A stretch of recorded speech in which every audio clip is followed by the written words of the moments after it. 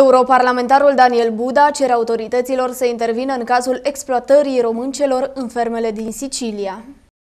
Daniel Buda cere autorităților din Italia și din România să ia măsuri de urgență astfel încât legumele produse în Sicilia să nu fie mai departe stropite cu sudorile disperării, ale umilinței și cu sângele copiilor avortați de sclavele sexuale din România care muncesc în această zonă. Europarlamentarul originar din Sălea spune că datele publice arată că femeile de naționalitate română sunt exploatate sexual și sunt supuse unor condiții inumane pe plantațiile cultivatorilor de legume din Sicilia. Potrivit publicației de Observer, peste 5.000 de femei de naționalitate română sunt exploatate la fel cum erau negri pe plantațiile de zahăr, fiind supuse unor violențe fizice și psihice inimaginabile pentru perioada în care trăim, dar și pentru un stat care emite pretenții că respectă democrația în interiorul Uniunii Europene, erijându-se în ceea ce vrea să pară astăzi și anume nucleul dur al Europei alături de Franța, Germania și Spania. Cred că este timpul ca Italia să lase deoparte ipocrizia și să treacă de la vorbe la fapte,